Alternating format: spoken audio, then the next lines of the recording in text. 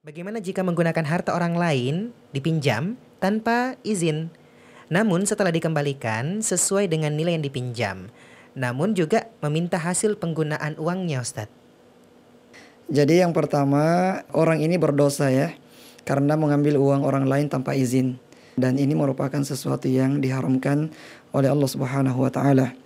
Adapun ketika dia telah mengambil harta orang lain tanpa izin, kemudian dia jadikan sebagai modal usaha. Kemudian setelah itu orang yang uh, diambil uangnya ini tanpa izin meminta uangnya kembali. Dan itu merupakan hak dia. Hak dia untuk meminta kembali uh, uang yang telah diambil darinya tanpa izin. Dan uh, bagi dia hanya berhak untuk uh, mengambil uangnya saja.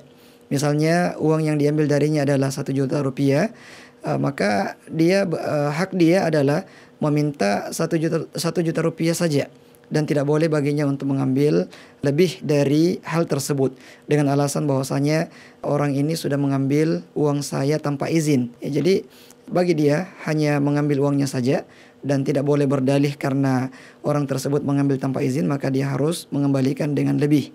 Ya, ini juga tidak boleh.